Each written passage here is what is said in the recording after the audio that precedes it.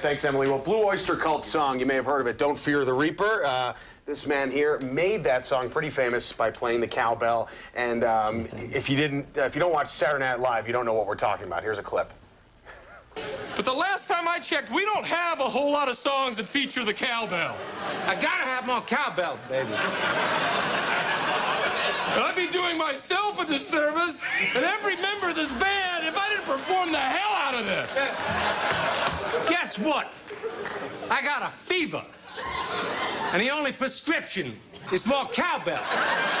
All right, there you have it. Um, that video went viral a while ago on YouTube. Everyone knows it. right. David Lucas joining us this morning. Thank you so much for joining us. And I, I got to ask you. I mean, you're you're from Buffalo. Yeah. You've seen that clip a thousand times. You getting sick of it?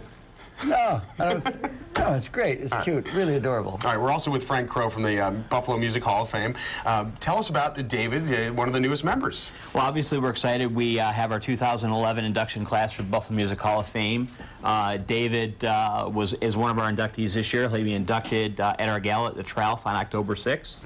And uh, obviously, David from Buffalo has gone on to do amazing things in music, uh, literally worldwide. That's right. And you've had uh, your time spent in advertising as well. You wrote "Reach Out and Touch Someone." I mean, I grew up listening to that jingle for AT&T. Yep. Unbelievable. What was that like? Oh, it- I mean, AT&T was obviously the big company in America, Right. and uh, and they wanted to change their campaign, and so they came to me, and I wrote this thing.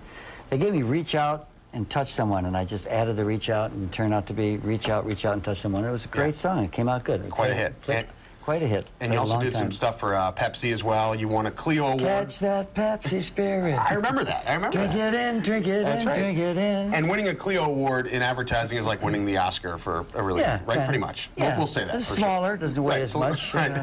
it's, They're not on live TV, but either way. right. Um, Exactly. Back to the cowbell. Um, what gave you that idea? I mean, you, you you incorporated that into the uh, Blue Oyster Cult song. Yeah, I mean the song was okay. Uh, when it came to the pr- producing the band, I would conduct. I did all my jingles. I would conduct and unconducted, and uh, to keep the tempo, keep the groove going. And I just decided that the cowbell would would kind of put that four on the floor, just bap bap bap bap. All right. So in the in the skit we just saw, Will Ferrell, was that pretty accurate? Or were there any fight? Was there any fighting over the cowbell, or was it? Uh, did No. everyone like it? I don't put up with any fighting. No. All right, cool. Well, uh, you know, Frank Crow's here, obviously from the Mus- Music Hall of Fame. What's it like to be inducted into the Hall of Fame? I was really, I was sitting there yesterday and I'm saying to myself, you know, geez, I made it, you know, hometown boy makes good. I really, uh, I was very proud and uh, very grateful. Thank you. It's a And we're proud of you. We're very Thank proud you. of you. Yeah, Yeah, that's great. Absolutely. All right, all right. We're gonna we're gonna bring in Uh-oh. some special guests here. I'm a closet co-host. cowbeller. We want to. Cowbeller. Okay. right. So what we're gonna do? We're gonna play a little jingle here. We're gonna really annoy our viewers this morning. Now, how do you want to do this? You want to do this the classical way, the Will Ferrell way, or the rock and roll way? Rock and roll. Absolutely. So, so we hold the stick like that? Well, fir- I'll, I'll tell you what. Um, here you go. Lean over here and hold this thing right up underneath your chin. Uh-huh. Like that. Like that. Like that. And I just whack it. Here we go. Now that's a cowbell.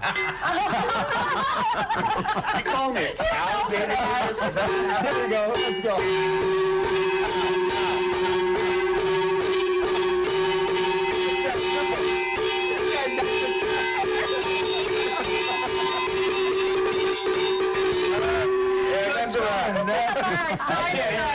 that's some good cowboy playing. We're going to go to some